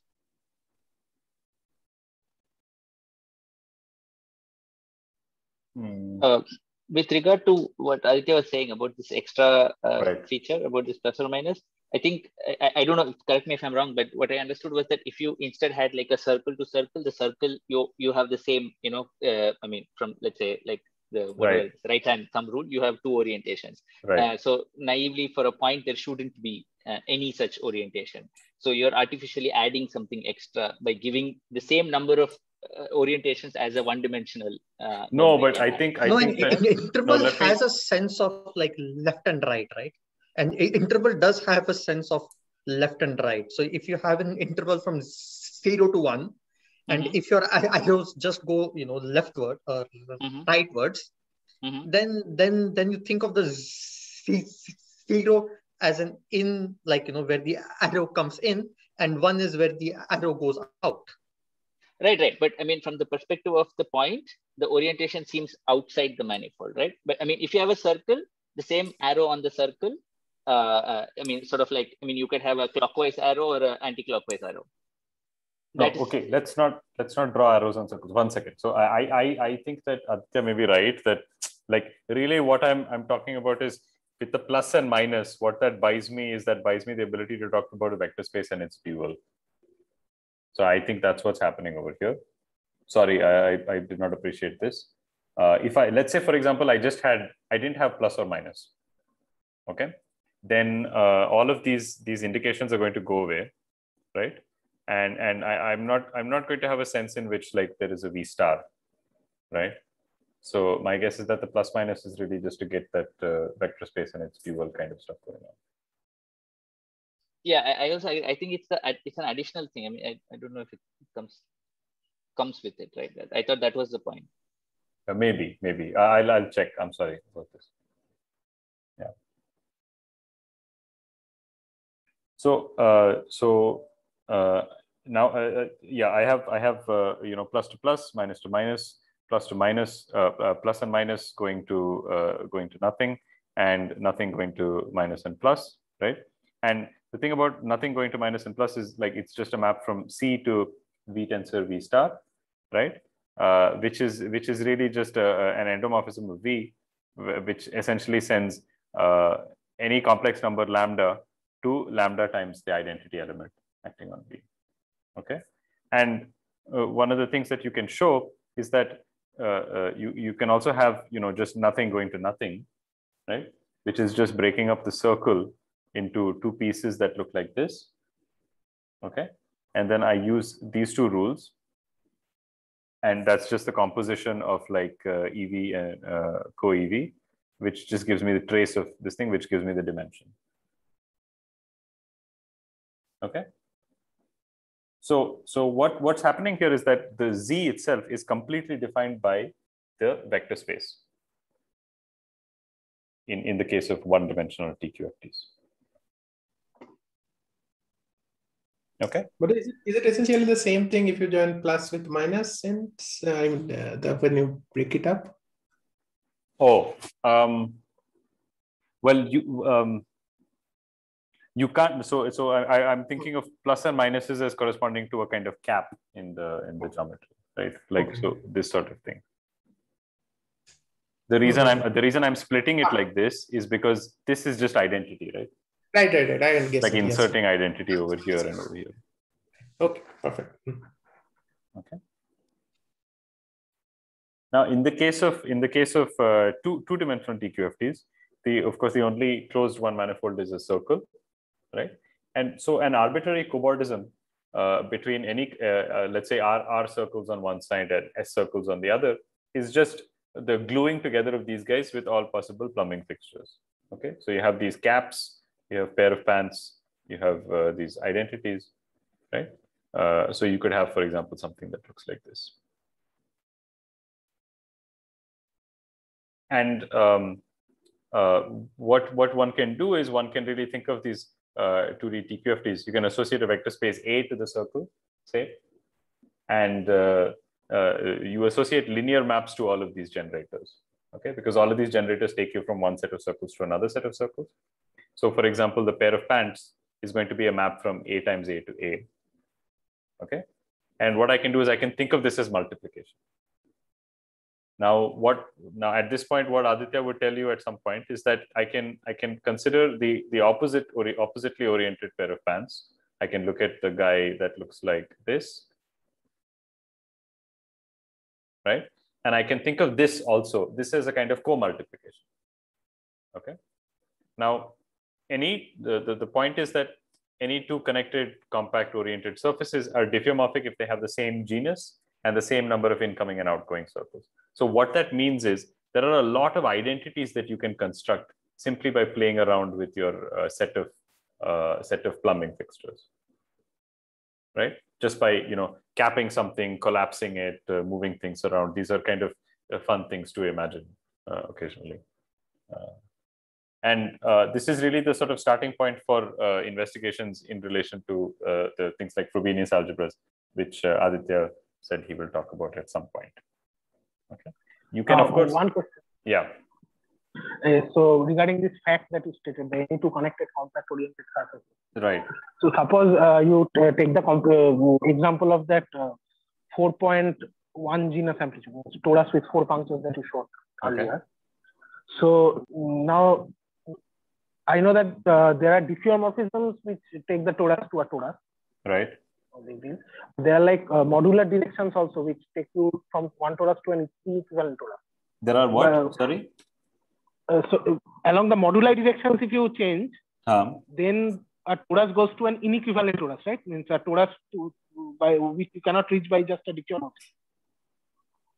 Right. So then they will give different cobordism, cobordism right? Um, you are not able to reach to a uh, to the same manifold by a simply a diffeomorphism. Yeah, but what's happening there is you're you're essentially the the the the object that you are uh, dependent on is the complex structure. Okay. Right. So nowhere did we say that a TQFT cannot depend on the complex structure. In fact, like there are TQFTs in, in two dimensions that sort of uh, that are sensitive to the complex structure of the manifold. So, uh, uh, uh can, uh, sorry, just to uh, Madhu, if you're finished, we can continue. Yeah, I, I, I, don't I don't have anything else. I just this is the sort of um, vague idea I wanted to give. So. Okay, okay. I think then I think it's a, a, a good space to uh, good time to thank Madhu and people who are interested can stay back and discuss. so with that, I'll end the recording. Thank you, Madhu. Cool.